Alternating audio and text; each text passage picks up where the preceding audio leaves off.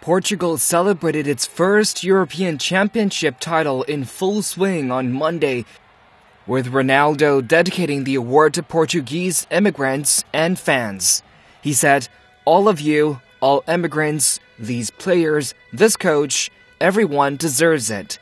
We have made Portuguese history. We're the first to win an important competition for our country. You all deserve this. Though the superstar had to quit the game earlier because of an injury on his right knee, the team with Eder as a substitute for Ronaldo still managed to win thanks to Eder's goal in extra time. The team enjoyed a grand welcoming in Lisbon, Portuguese capital, with the presence of the country's president, Marcelo Rebelo de Sousa.